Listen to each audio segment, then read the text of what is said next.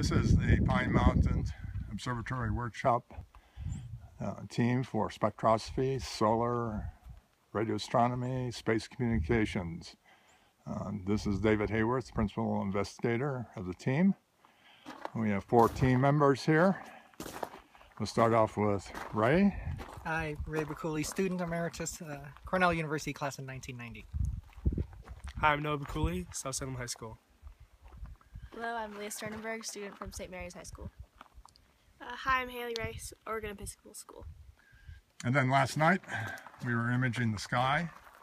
We have an Astro-Physics Mach 1 mount here. Uh, on top of it, we have an Orion 150 millimeter telescope. On the uh, back of the telescope, we have mounted a Sony interchangeable lens camera with a T adapter.